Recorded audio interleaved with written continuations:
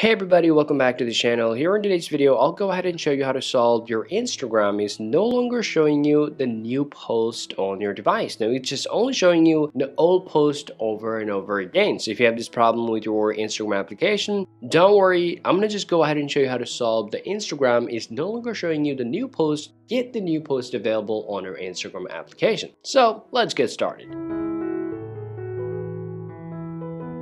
Alright guys, now to solve the problem, the first work that you want to do, you want to open up your Instagram application on your device here, tap on your profile, tap on the hamburger icon, tap on settings, and right after that, you want to just tap on your account. Once you come over here, you want to choose browser settings, and right after that, just go ahead and tap on clear, tap on clear browsing data, and right after that, just get out of here and now you need to look for some new member or let's say the new people that you need to follow. So you can tap on search here, just go ahead and look for some new people here and just go ahead and follow them. And after that, just go ahead and check whether you're getting the new newsfeed from your Instagram application or not. Now let's say you did that process as well, but still you have a problem with your Instagram application, which is still not showing you the new newsfeed, then the next process would be you want to just tap on hold your Instagram application, just tap on this eye icon here, and now scroll down, tap on storage cache, tap on clear cache, tap on clear storage, tap OK, now get out of here, and right after that, just go ahead and just reopen your Instagram application, sign up with your accounts again, and check whether your problem is solved or not, and you're getting the new newsfeed on your device or not. So if you see still you got a same problem with your device here, lastly, you want to follow a little tricks. First of all, if you're using a VPN, then you need to turn it off.